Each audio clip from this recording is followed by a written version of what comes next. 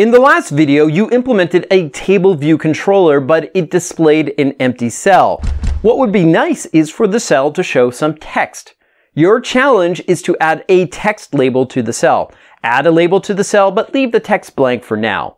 The bounds of the label should extend to the width of the cell with the padding on both sides, as you can see in the slide.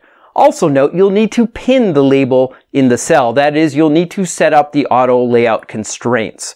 To do this, select the label, and once you have added the new cell, click the Add New Constraints button and add constraints to each edge using the standard value for the left and right margins.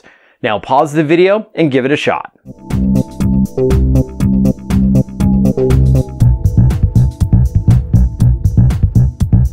Okay, how did your challenge go? Hopefully it wasn't too bad, but if you got stuck, I can walk you through it right now.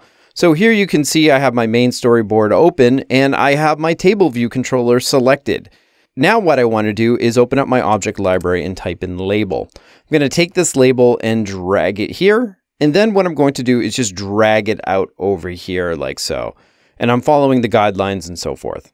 Okay, so I have my label here in my cell. Now I want to pin it. So I'm going to click this button here that looks like a TIE fighter. It's called the Add New Constraints button. And I'm going to set the top constraint to be 11. We'll keep that to be the same. And for the left margin, I'll use the standard value. And for the right margin, I'll also use the standard value. And that's just Apple's way of saying eight points. So I'm going to add in these four constraints and you can see this is the standard value here and that's the standard value here. And my label is flush like so. And now let's build and run on the iPhone 10.